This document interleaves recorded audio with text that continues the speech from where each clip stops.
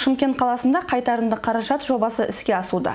Бұл жоба үш айдың ішінде шатыр мәселесін түбегейлі шешіп береді.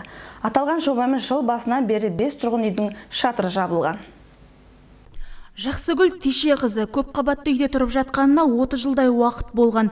Бұған дейін шатырды шамалары жеткенше өздері жауып жүрген. Дегенмен бұл нағыз маманның жұмысы болмағандықтан ары кетсе 2-3 айға ғана төтеп берген дейді. Үш бөлмелі пәтерге 1413 теңгеден төлейміз. Екі бөлмеліге 1080 теңге үш бір бөлмеліге 780 теңгеден төлейміз. Қол жетімді жақсы бізге үш жыл кепілдік беріп жатыр 15 жылға төлеп неғылып құтыламыз деп отырмыз енді. Барлығы. Жақсы адамдар өздерінің нелері авторлары жаңағы тұрғын үйдің нелері бастықтары тағы да бір адамдар келіп тексеріп кетеді аптасына бір рет. Біздің өзімізді сайлап қойған адамдарымыз бар осы домнан.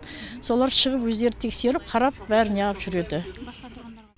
Тұрғын үй шымкент мекемесі қолға алған бұл жоба мемлекеттің 2020 бағдарламасы бойынша жүзеге асуда. Сұраныс беру үшін әкімдікке барып тиісті құжаттарды толтыру қажет. Бағасы көлеміне қарай шамамен 3 миллионнан 20 миллион теңгеге дейін болады. Тұрғындар бұл соманы 10-15 жылда ешқандай пайызсыз қайтарады.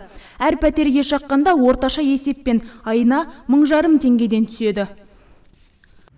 Қаржы есебінен осы жүз үйдікі былтыр қыркүйек айынан басталған бүгінгі таңға шейін жаңа айтып отырмыз елу үй толық бітті. Оның ішінде тұрғындарға түсіндіру жұмыстары бар түсінбегендер бар. Ну бір жүйеге келіп қалды. Қайтарымды яғни тұрғындар ақша қайтарымды қаржы мәселен мынау үй қарасу жүз он где он жылдың көлемінде осы ақшаны қайтарады.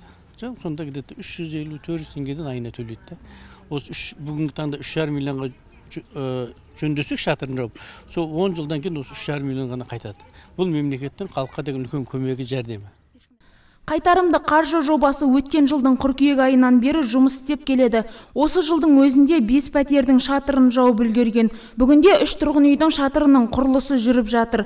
Ағымдағы жылға жүзге тарта пәтердің шатырын жабу жоспарланып отыр. Гүлжамал рүстемқызы нұрболат әмір қабылбек мұратұлы нар ньюс.